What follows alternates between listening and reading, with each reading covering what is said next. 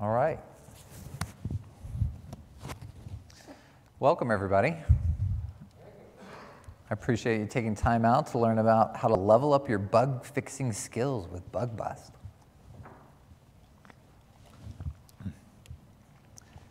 My name is Jacob Sullivan. I'm a principal product manager with AWS. Um, I work on AI DevOps products. So this is where we look at how we can use data science to improve everything from code development to cloud operations. Um, I've been with AWS about three years, and two of those years with AI DevOps. And I'm presenting today with Wayne. Hi, everyone. Good afternoon. I'm Wayne. I'm an AWS solution architect from Singapore. So typically, I help customers with solutioning on the AWS cloud. And more recently, this year, I actually helped my customer with uh, hosting a Bug Bust event. So I'm happy to be here to help share the experience and outcomes with you. Awesome. So today we're going to talk about bug busting and bugs in general. Uh, we'll cover briefly the impacts of increased software complexity, how you prevent software bugs in production, both today with existing methods and using things like the Bug Bust platform, Wayne's going to walk us through a customer use case of a customer that had an opportunity to use this service uh, here in the past couple of months. And then we're going to plug the ongoing AWS Bug Bust reInvent Challenge. If you haven't checked it out, uh, we're going to talk more about it later, but it's going on right now uh, and will be for the next uh, 15 or so hours. So we'll get to that in just a minute. So I think as everybody understands, software code is growing exponentially in complexity. So we've got this cool little chart to try and illustrate what this means. If you look at the average phone application, it'll have 40,000 lines of code. Electric cars, 10 million lines of code. Social media platforms, 62 million lines of code. I like that it takes six times as much to run social media than it does an autonomous vehicle, but hey. Um, if you were to try and read all of this code, just to sit down and read it, it would take 20 hours to read the average phone application. It would take almost four years to read the 62 million lines of code social media platform. That's just reading, right? That's not even debugging it yet. And I think we can all agree that that complexity is only going to increase. Yeah, and this applies to my customer as well. The customer that I've been working for actually shared with me that they currently have 400 apps and uh, thousands of repositories. So that's a lot of code that they are having at the moment. There's a lot of code. Yeah. And we hear that from customers small and large, right? The complexity of code is, is really continuing to grow. And with this complexity comes more errors, right? On average, software developers make 100 to 150 errors for every 1,000 lines of code. And this is very expensive, costing almost $3 trillion in the US in 2018. 18% of this was attributed to tech debt. Every software developer is super familiar with tech debt. We always carry it with us. Um, but it's expensive, right? This complexity and, and, errors are expensive. Yes, and I think our CTO, Werner Vogels, actually spoke about you know, how much it would cost for each of these error and bugs in the code, right? So typically it will cost about 700 USD. So if you were to allow the, the, the bug to go to production and fix it in production, that will actually cost a lot more than if you were to catch it earlier. So to that end, the customer that we're working with has been automating their release and test, so they auto automate as much as possible. So none of the production release is actually done manually. And so we hear that a lot, right? There are, there are mechanisms and tools that we're putting into place to try and shift left, trying to automate, trying to catch earlier, because the longer it goes, the more impactful it is. As those bugs make it into production, they have negative impacts across all of our stakeholders. They're felt by your customers, they're felt by your company's reputation, there's financial impact, and they're felt by the developer right? The developer who's writing the code and the reputational risks that they feel and the pain that they feel themselves as they're working on these products. So we pulled some examples, of course, how code bugs can be dangerous for your customers. We've got two examples here. Major automobile company had a bug in their software caused the car to accelerate to 100 miles an hour and the anti-lock brakes to lag. And a bug in a major healthcare system put 10,000 heart patients at risk for receiving incorrect medication. Now, many of our enterprises do work on mission critical and safety related software, and these are real concerns that happen. Um, this also impacts other types of bugs, impairing your customer experience and adding friction overall.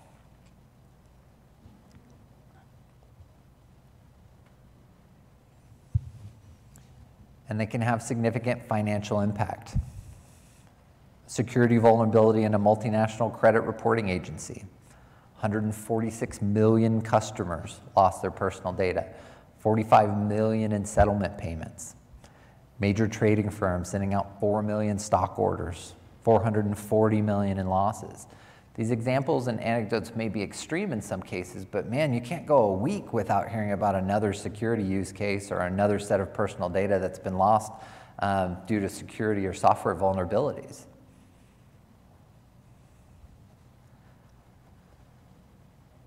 So today, how do we try and prevent software bugs in production? Well, we throw people at it, right? 620 million developer hours a year are spent on debugging software failures. That's not debugging software and code reviews, that's bugs that have made it into production and you're debugging failures that have already impacted your customers and your business. To prevent this, we have the code review processes in place. And those certainly vary, right? I'm sure many of us have automated processes where we're doing code check-ins and each of those reviews are uh, reviewed by our peer developers or reviewed by our managers in place.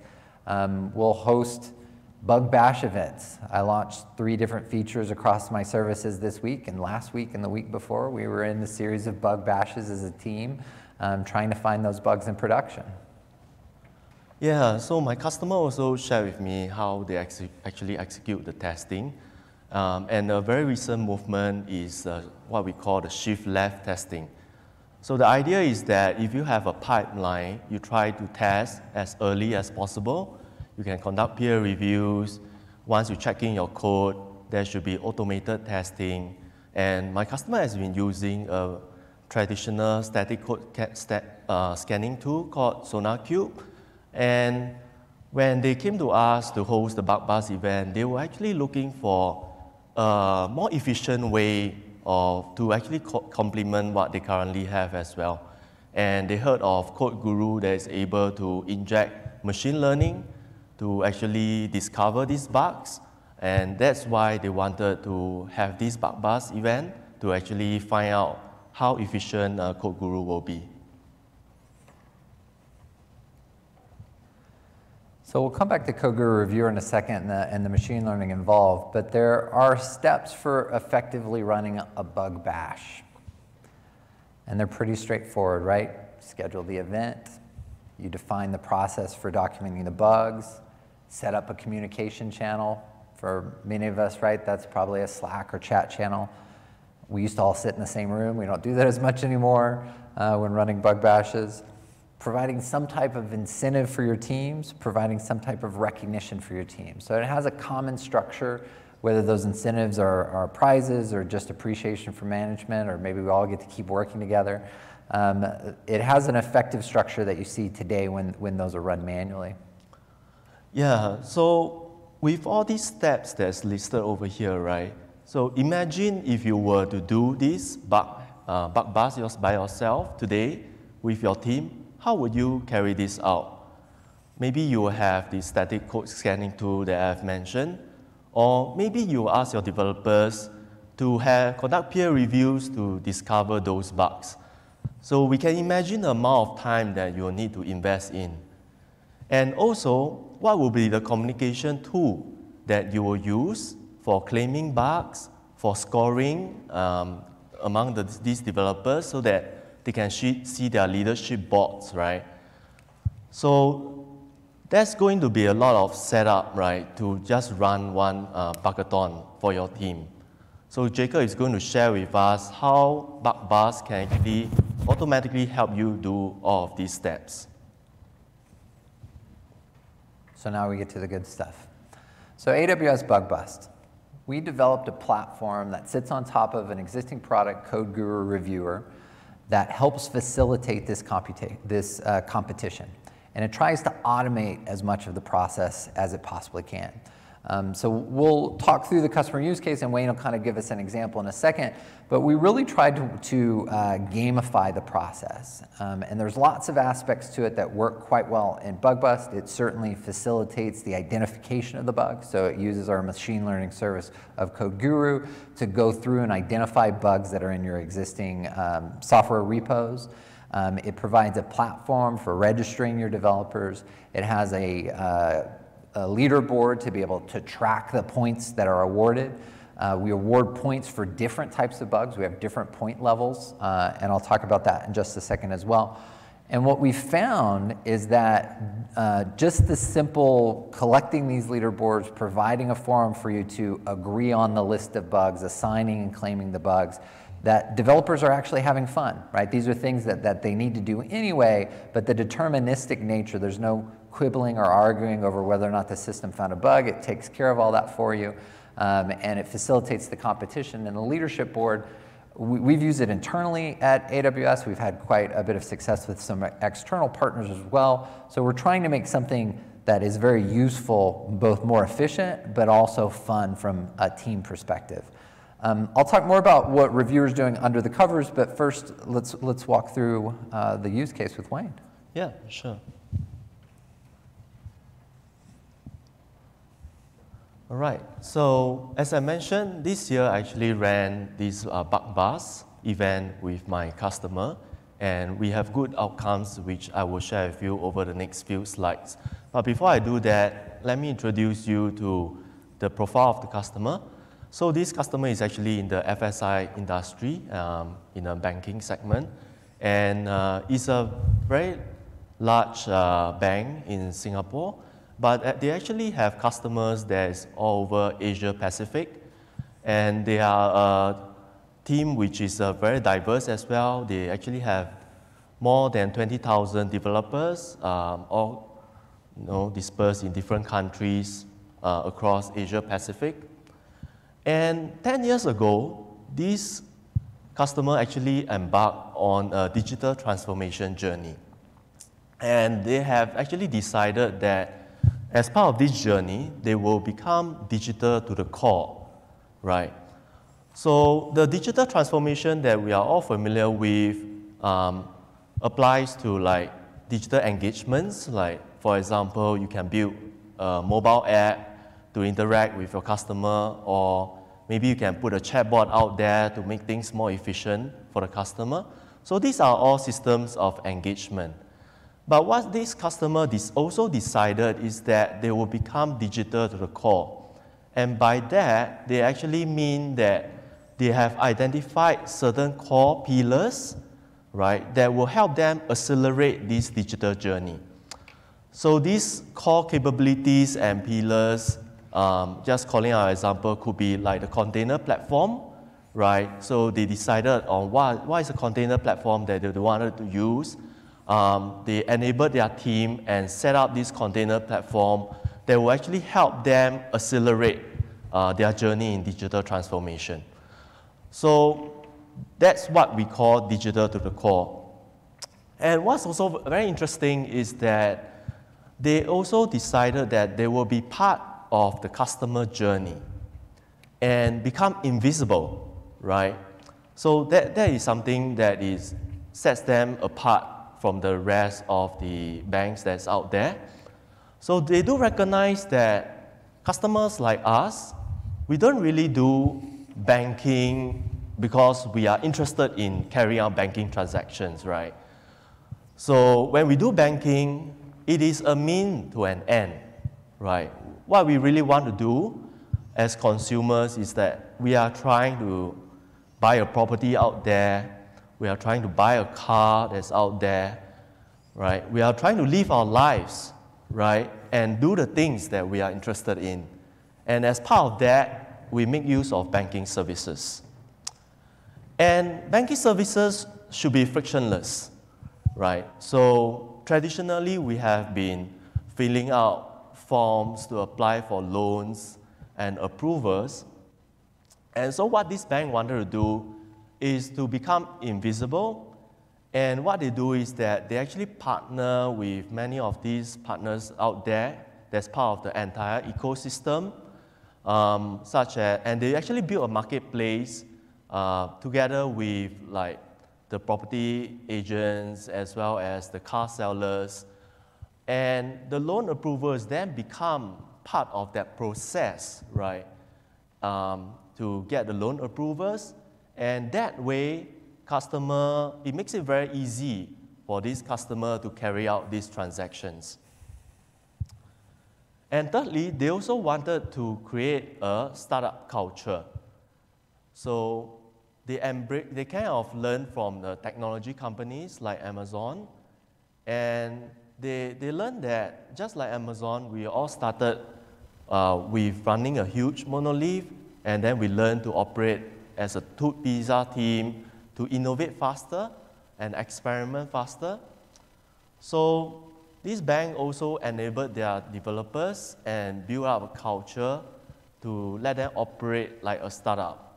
So they have been carrying out a lot of experiments, um, and from what I gathered, they have conducted at least a thousand experiments in the last uh, five years. So that's the profile of the customer that actually ran this bug bust with us. So how did they actually get started with the event, right? So the event was actually initiated by their head of technology. Um, and he, actually learned from social media that uh, uh, our CTO, Werner Vogels, uh, spoke about the bug bust. Um, and then he became uh, quite interested to how um, he can bring new innovation to his team through bug bust. At the top of his mind is that there, there will be a few key benefits uh, by running this Bugathon. The first of all, he, he would have the chance to actually allow the developers to inspect their code, right, and ensure that there is uh, code quality improvements and have the highest standard in terms of code quality. And Code Guru also helps to inspect you know, the security vulnerabilities as well especially with regards to those that, that are in the AWS SDK. It makes sure that um, you are using the AWS SDK with the best security best practices. So he's also motivated to improve the security that's in his code. And moreover, as we know, the pandemic has been lasting for quite a while. At one point in time, the thousands of developers are actually all working remotely across the different countries. And he wanted a way to actually engage them. So running a hackathon is a good way to actually engage these developers and have fun at the same time. So to that end, what the team did was they actually put together a group of engineers, about eight of them, and they reached out to AWS, so we had an initial discussion on how we actually run to run the event. And we actually spent the next few weeks uh, to work out a plan to actually run Bus. So as Jacob has shared, um, we identified what are the prizes that AWS will sponsor and uh, the customer will sponsor as well. We also identified what will be the applications that they will bring on board. And the application that they identified is a front-end uh, customer uh, engagement application where that allows customers to actually do their digital banking. So it is a very critical app, and that's why they, they will actually want to improve the code in that app. And after we have identified the repositories, we also integrated Code Guru to inspect those re repositories and discover the bugs that's in the re those repositories. And after which, uh, we actually work with uh, some of the developers to do a pilot test, to do a pilot run, uh, and that proved to be successful. And in September this year, we ran the event over a course of uh, two weeks, right? Um, and I'm going to share with you the results from that two weeks. So, how many lines of codes did we actually scan? One billion, right? So from the five repositories that they, they actually brought um, to the bug bust, one billion lines of code was actually scanned. Can you imagine if you were to go out there and uh, scan them, read them manually to identify those bugs? It will actually take you 60 years to do that. But can you guess how long Code Guru took to actually went through this code? Any, any guesses? One day? It was actually close to half an hour. Yeah, so it's pretty efficient, right, for Guru to actually use machine learning to go through these 1 billion lines of code. So customer was happy that uh, Code Guru was quite efficient. And when they started to actually execute and solve the bugs, we realized that there was a trend. So within the first three days, they actually fixed 80% of uh, uh, of the, the, the bugs that were actually discovered. So as you can see from the graph, there's about more than a thousand uh, of them, of the bugs that were discovered in these five repositories. They fixed 80% in the first three days. So three days into the event, we start to get worried that we will not have enough bugs for the developers to solve. yeah. So actually what happened was that um, the developers actually went out there and they solved the easier bugs first, right? And the repetitive one. So these are the kind of like the low-hanging fruits. And so they kind of solved all these uh, pretty easily. And then for the rest of the two weeks, they went to tackle the bugs that were more challenging to solve. So remember, I spoke about the value of a bug and how much it will cost to an organization research has mentioned that it costs about 700 USD for each bug. So for these uh, thousands of code uh, of bugs that we have actually solved together, they actually represent 1 million reduction in terms of the technical debt. So that's a very, very good outcome for the customer of mine.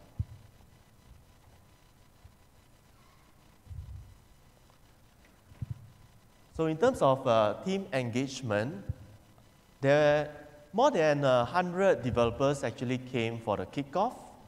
And out of these 100 developers, we actually have 40 of them.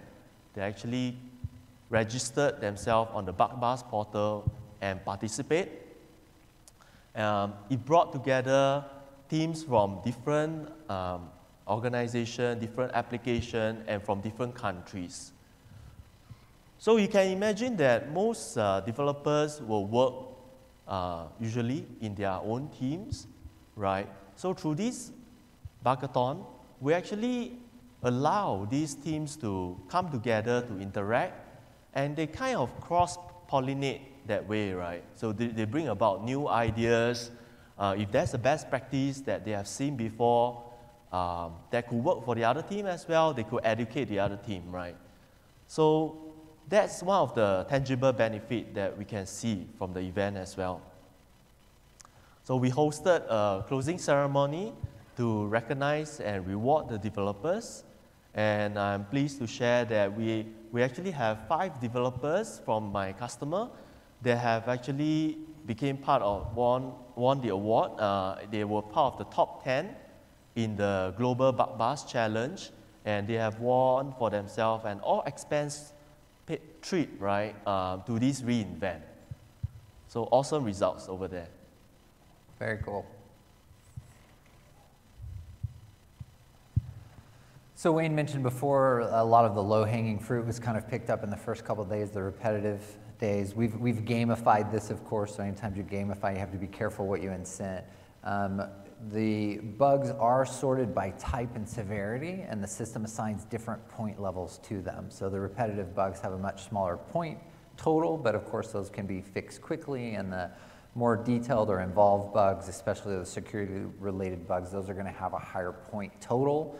Um, so even though those took a little bit longer, they, there's more reward for that. And we're playing with that concept and, and seeing how we can incent the right behavior.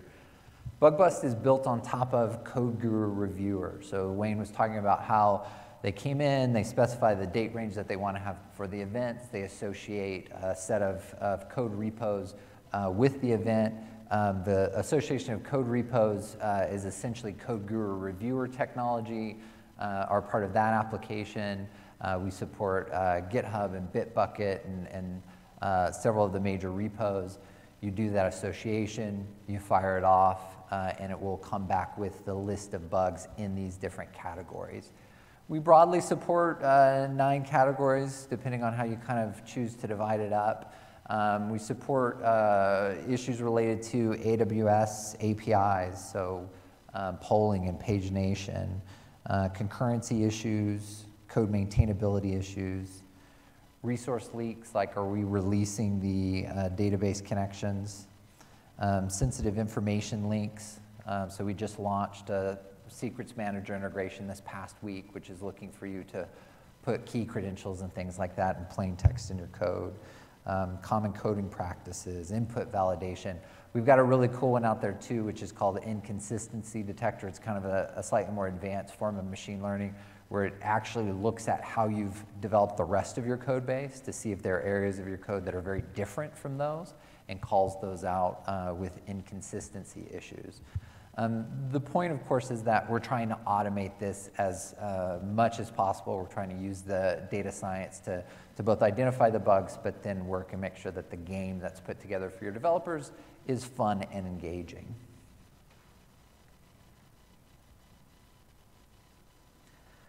So Wayne referenced before the event that we had been running up until a few, uh, few weeks before reInvent, we had been running a global uh, challenge where companies could set up a private challenge for their own developers, but those uh, points that they were awarded would be shown on a global leadership board, uh, and we did award the top 10 trips to reInvent, so we're super excited to have them with us here.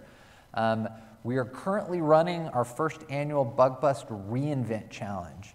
What we're trying to do is we're trying to create the largest single bug bust event and see if we can break a few records of how many uh, bugs can be fixed by developers uh, in the same base. Instead of using uh, private code bases from private companies, uh, we've connected uh, several of the largest open source repos that are out there. So when you sign up and fix bugs, you're actually contributing back to the open source communities in general. Uh, we would love for, we're, we're, looking for a few more people to put us over that record. The booth is over in the expo. People can hold your hand and help you fix a few bugs, but you get a chance to kind of test out the platform. Uh, you can go to bugbust.aws uh, and register with your email account, uh, claim a couple of bugs, fix them, check them into uh, GitHub, and away we go. Of course, if you do that, we've got lots of cool prizes, not just the bragging rights for participating in the largest bug bust event ever and helping us exterminate 1 million bugs. They're giving away uh, Echo Dots to the top 100 uh, performers. They've got hoodies and bug jars, like it's literally a jar, which maybe you put on your desk or in the back of your virtual screen um, all the way down to bug bust fly swatters. Who, who wouldn't want a bug bust fly swatter? We appreciate you taking the time to come to listen uh, about Bug Bust. Wayne and I are, are going to hang out over here beside the stage if you have questions that you want to ask us. Um, but I really do hope you go participate uh, in the reInvent Challenge, give you a chance to check out the uh, platform and see what it's all about. Thank you very much. Thank you very much.